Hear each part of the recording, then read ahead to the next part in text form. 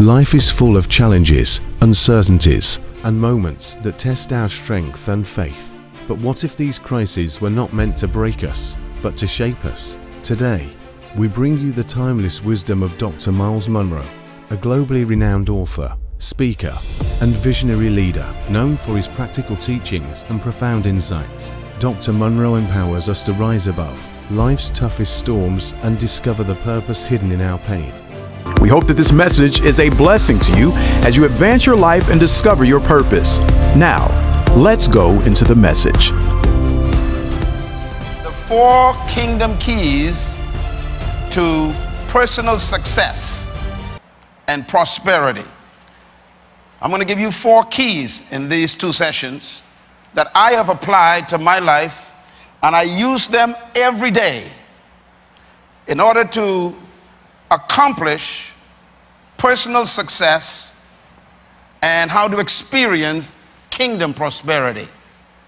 I'm going to focus on succeeding in times of crisis. How do you become successful when everybody else is crumbling around you? How do you make it through the system when the system has spat you out? What do you do when you are no longer needed by a company? What do you do when you lose your income?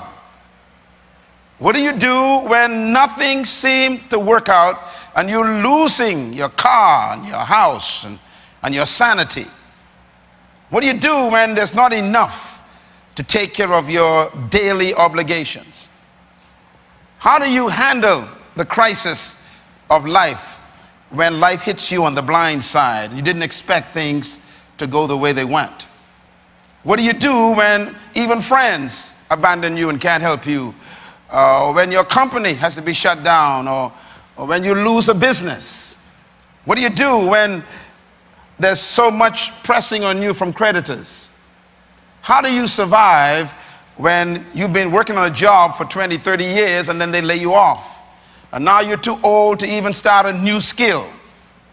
What do you do when the insurance company doesn't want to insure you anymore because they are assuming that your age doesn't benefit their policy principles?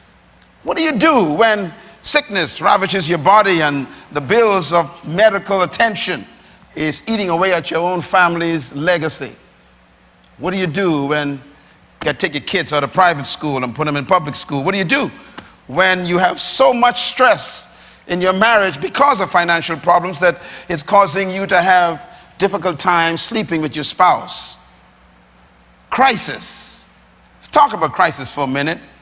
I have a picture up here of a crisis. It's a hurricane. Americans call it a tornado. A hurricane is really a massive tornado. When a hurricane comes, we call it a crisis. Why is a hurricane a crisis? Why is a tornado a crisis? Why is a tsunami a crisis? Why is a snowstorm a crisis? The answer is because a crisis is really circumstances that occur that you have no control over and you didn't cause them. If you lost your job because they laid you off, you can't control that. If your company is not having the kind of customers or the clients have fallen off and you can't make enough money to keep things going, you have to shut it down, that's a crisis. You can't control people coming or not coming to patronize your company. What do you do? Well, a crisis is an institutional circumstances of either nature or the environment or the system that attacks your equilibrium. But there are some good things about a crisis. The world is in crisis right now. The economy of all the countries in the world seem to be under great turmoil. And in your nation and in the Bahamas, here where I live, there's no different. People are having difficulty making it. But I come with good news today. I want you to follow me very carefully on what to do in the midst of that crisis. There's some things that you can do that are based on the kingdom system that will give you the success and the prosperity that you need in the midst of that crisis. A couple things about crisis to write down. Number one, crisis is the incubator of creativity. Most of the time, we're not creative until something bad happens to us. When things fall apart, it makes us think outside the box. Secondly, crisis demands a new way of thinking about old problems. An old problem is you got to pay a mortgage. The problem is the source of income that you used to pay it with has been dried up. But the old problem hasn't gone away. You still got to pay your mortgage. So what you got to do is find a new way to generate income to pay the old problem. So crisis actually forces you to think about new ways to solving old problems. Thirdly, crisis is an opportunity to improve and advance over old ideas. Sometimes the only way for you to move on is for something to happen to push you. And many times we don't grow until we have to. So crisis comes many times to improve us because we've been stuck in a place too long. And number five, crisis comes also to produce growth and it also produces a sense of development. It makes you develop new approaches to life. Crisis creates new opportunities. It's amazing when, when we uh, look at the world today, every progressive invention came out of a problem. And that's because crisis makes you develop and think in new ways. Number seven is very important. Crisis produces and manifests true leadership ability. No matter how much you would like to claim to be a leader, only crisis proves it. You are not really a leader in good times. Anybody can lead in good times. Leadership is tested and proven when there is a crisis environment. So, crisis comes to test to see if you are as mature as you claim to be.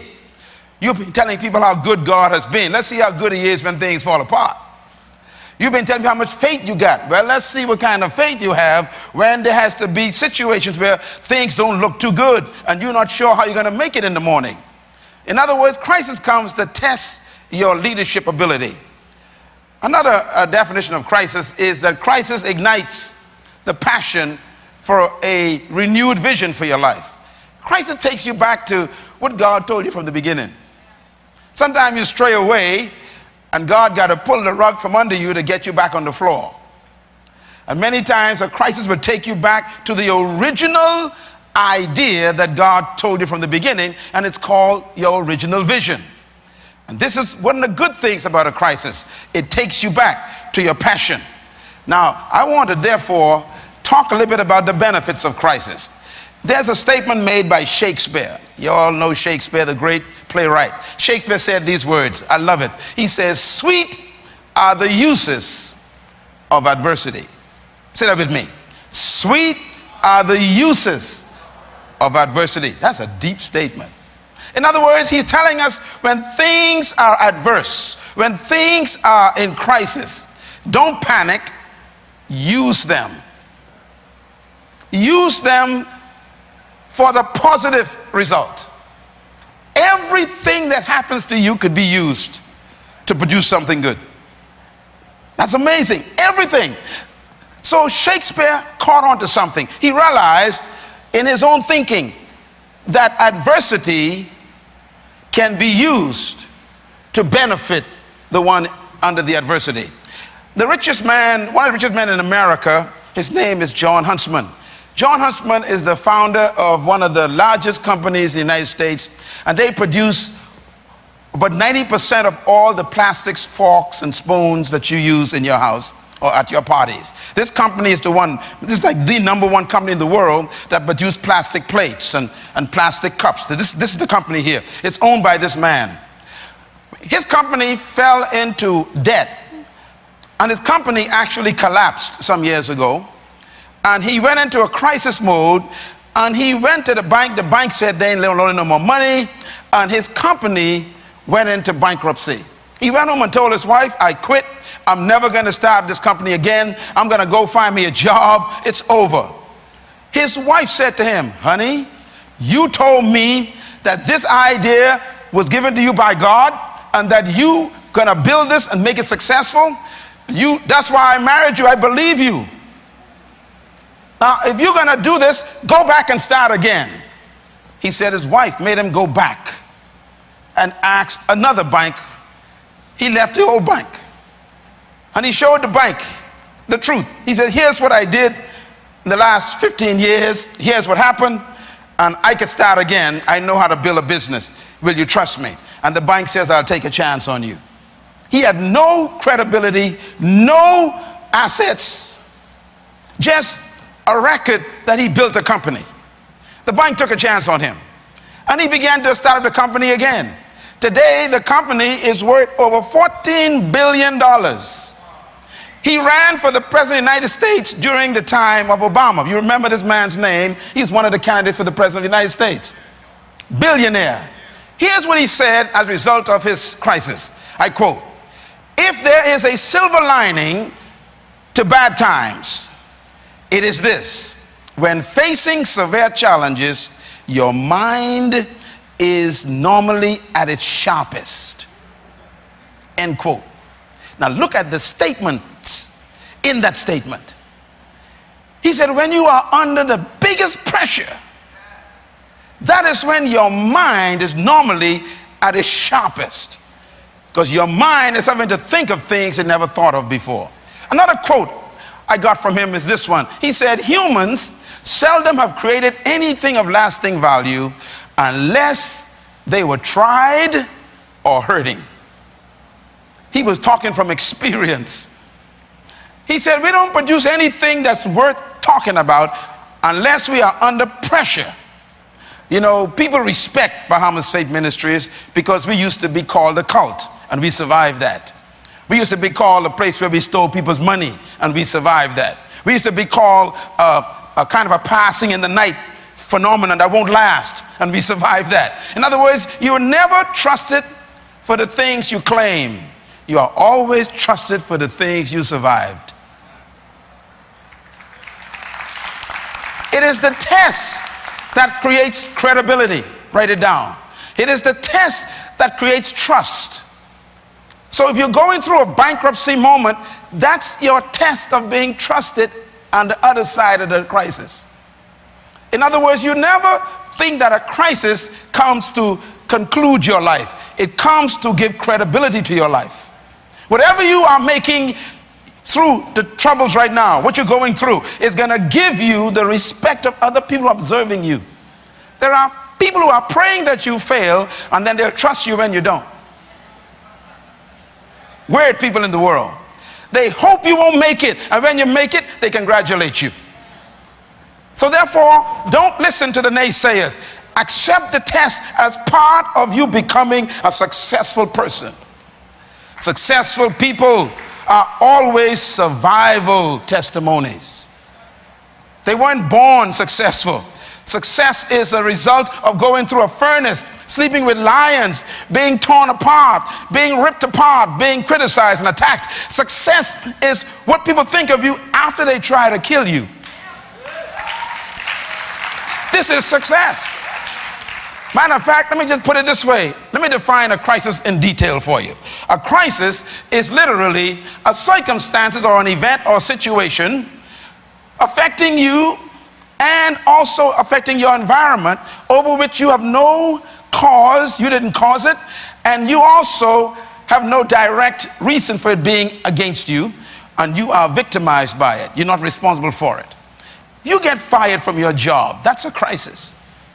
If you were told by a doctor that you got a, a, a cyst in your womb, that's a crisis. You didn't cause it.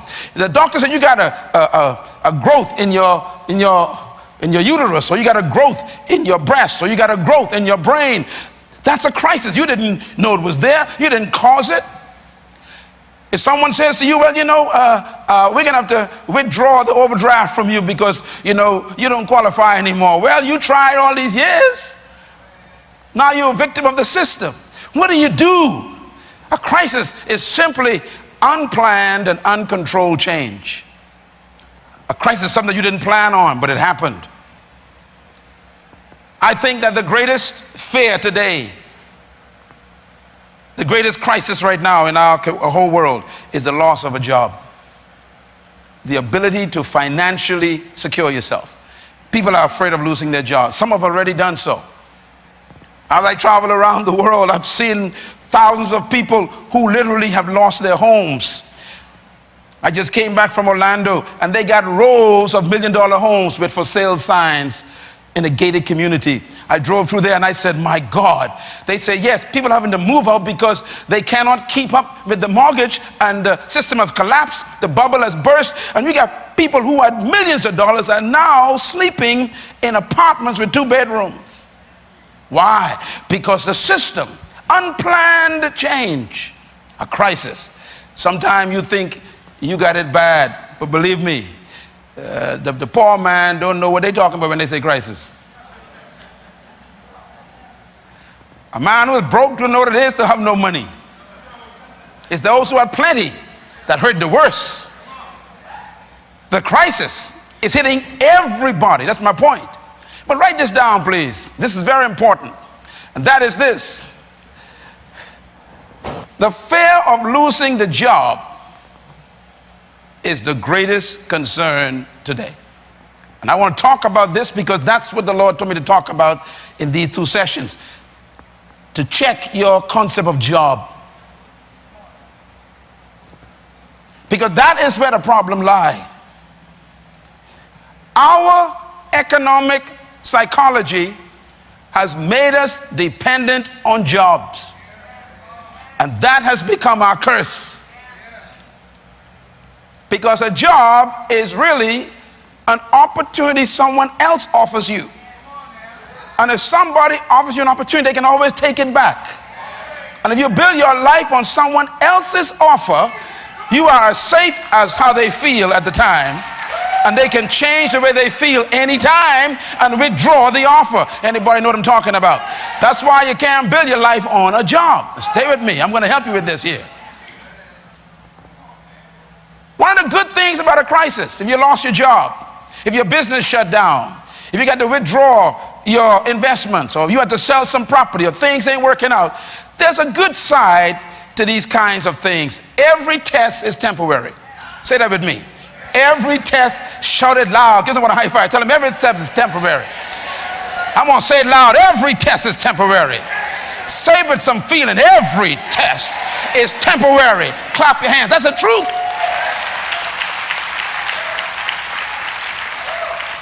So no matter what you're facing, don't panic too long. you may panic for a minute, but I've come to tell you the panicking time is over now because you're going to get some wisdom. Nothing is permanent except God and His promises. Everything else is changing. As a matter of fact, God's promises us that nothing will remain the same. He promised that. Now, God doesn't change, His promise doesn't change. And here's one of His promises. He said in Ezekiel, Ecclesiastes, rather, chapter 3, He says, To everything there is only a season, and to every purpose there is a time under heaven. In other words, everything that you experience is only seasonal. If you broke now, it's only a seasonal brokenness. You're about to move into a lot of income. Tell your neighbor, I'm only passing through a tough moment. Give someone a shout right there. I'm only passing through a tough moment. To everything there is what?